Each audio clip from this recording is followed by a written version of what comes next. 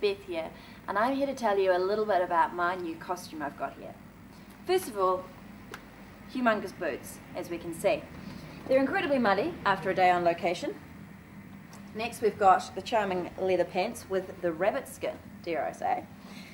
The big belt, you always need one, bare midriff. Charming little leather top with the little feathers on it, after all I am in the eco tribe. Paua necklace, natural shell of New Zealand, we've got to keep it natural here.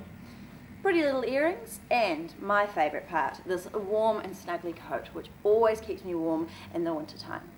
Now, I know that you always like our makeup, but do you actually know what we have to go through to look like this? Well, here we go. This, I've had this hairstyle for, what, three years now, and it takes approximately half an hour every morning. The whole get up here, all the makeup, it takes an hour. So I have to sit in that chair in the morning for an hour getting the stuff done. But all this, all these markings, it all comes off in the afternoon, all nice and easy, water-based, washes off like nothing you've ever seen. So the next time you're sitting there thinking how wonderful it is, you just try sitting in that chair at 6 in the morning for an hour. Catch you later.